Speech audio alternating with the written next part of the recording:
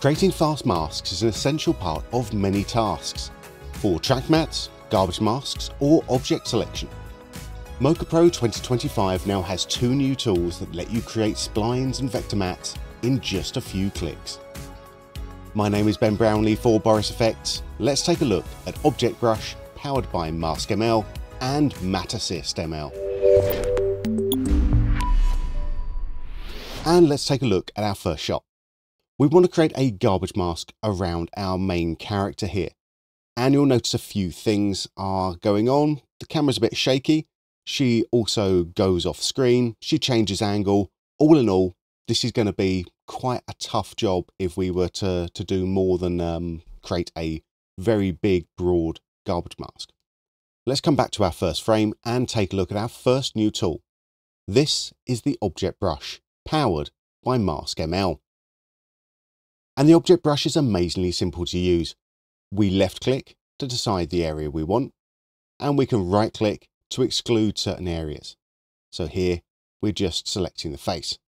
I'm going to undo that a couple of times.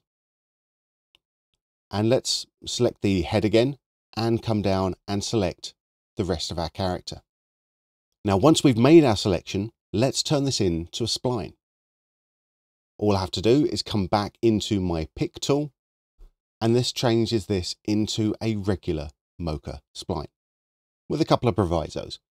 Now, by default, this spline is only one frame long, and this is important in about 30 seconds time.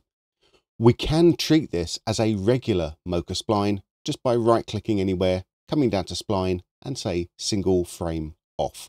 And this will create up a spline across the entire image, which we can then track using the regular Mocha tracking tools. Let's undo this. Now, the reason you'll probably want to keep this as a single frame object is because of this next tool. And I'm going to go into classic mode now and show you our brand new Matte module. So in the Matte module, we can use Matte Assist ML to generate up an automatic object matte.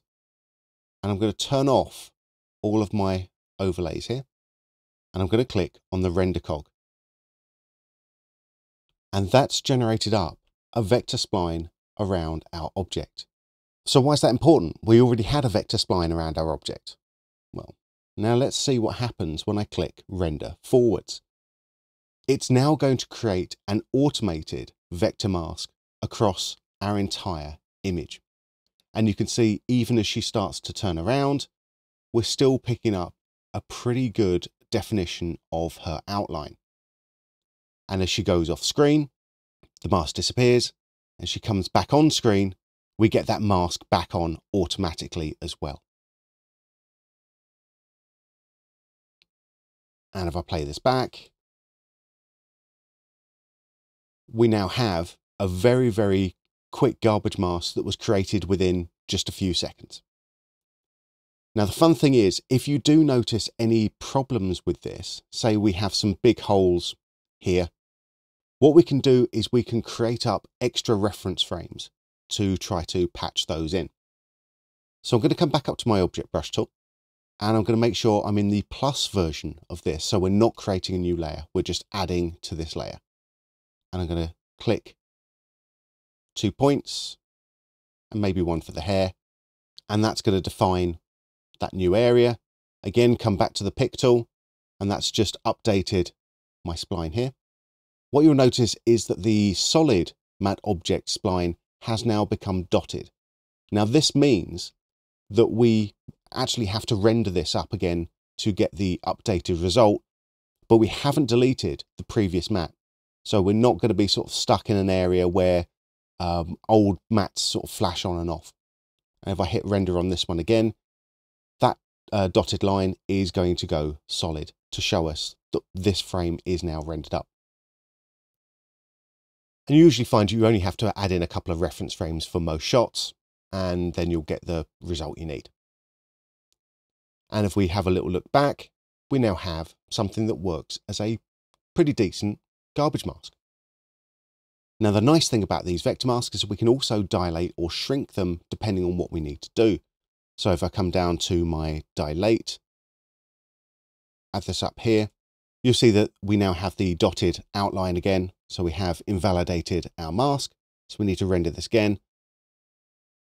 Let's undo that because I'm not sure that 15 was the exact right thing. So I can dial in another number here, but I don't want to have to keep going back and forth to the render. What I can do is I can turn on my re-render on parameter change button. And now if I type in 10 here, it will automatically re-render that frame for me to see whether 10 or 105 or maybe even just 20 is going to be the right number for me. And as soon as I'm happy with that, I can just re-render across the rest of the frames. Now you don't have to use the object brush to create your initial frame. Matte Assist ML works with any spline that you feed it. But I will say that if you do create your own splines, make sure to be um, either on the edge or slightly inside the edge to get the best results. Now the object matte that Matte Assist ML makes is a vector matte. So this is important for a couple of different reasons. One, it is fast to render. And two, there's no external media that you have to worry about. So you don't have to keep regenerating things or relinking media. This is especially useful if you're working in the plugin environment. There's nothing else to manage when it comes to archiving your project for a later date. Now, here's another couple of quick tips when using this automated system. So if I want to uh, track in different subjects, so here I'll take in my first uh, girl here, and you'll notice that it's also taken in a little bit of someone who's hiding behind her. I can always come in and use the area brush to paint out those areas that we don't want to uh, to keep in, or maybe I can paint in the areas that I do want to keep in. So if I hold down Alt, I'm painting out. If I'm just drawing, then I'm painting in. So this is a very nice way of cleaning up some not quite clean uh, edges for us here. And when we're done, choosing the right tool is very important.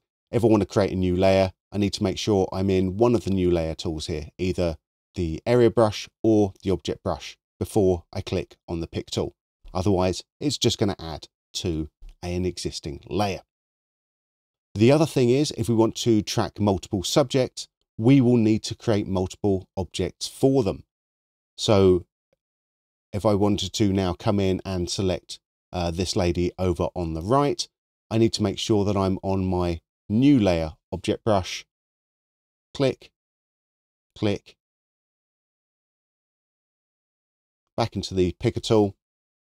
And as soon as I turn on generate object matte, you can see in the layer that we now have a new icon to say that we're using the Matte Assist. And I can render out multiple layers simultaneously. So let's have a look at how we can use these in practice in the various modules. So if I am in my track module, I have my pillars and let's just try to track these forwards. You can see that as the uh, boxer goes in front of those pillars, obviously that's not going to work anymore. The, uh, the tracker is going to get completely confused by everything. So let's get rid of that. Instead, I've created up a very simple garbage mask just dilated a very small amount, 14. So let's see what happens when I track these again with the garbage mask I created within seconds. Let's track that forwards.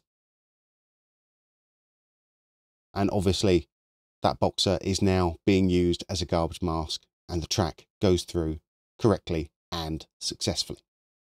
And if we have a look at how we can use this for removes, we've got our auto generated up matte here let's come into the remove module and we can just render that forward. And this is a lot faster, obviously, than having to manually create up our foreground object. And of course, we can also use this in the camera solver module, but I'm going to save that for another tutorial. So if we take a look at our other boxer shot now, or our training shot, we can come in and just like any other matte, we can export these out as rendered shapes.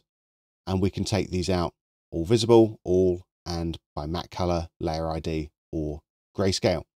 This is great, obviously, if you want to end up with a rendered version of your mattes. Now, if you're working in the plugin version of Mocha Pro, you can also use these directly inside of your host. Here, let's save this out and I'll exit back into After Effects. And if I come into my mattes up here, if we view that matte, we can now see our rendered generated matte here, nice and fast to render out. And I can even apply that matte there. There we go. And we have full control of the dilation straight within our host as well. So we can dilate or we can shrink depending on what you need to do. Now, specifically with these mattes created by Matte Assist ML, these are vector mattes, but they are not editable splines. So if we did come in and uh, choose something like create AE masks here, we will get an AE mask. Let's uh, turn off our matte, but we're going to get the masks that were created for our reference frames. And that's our first look at the object brush powered by Mask ML and Matte Assist ML in Mocha Pro 2025.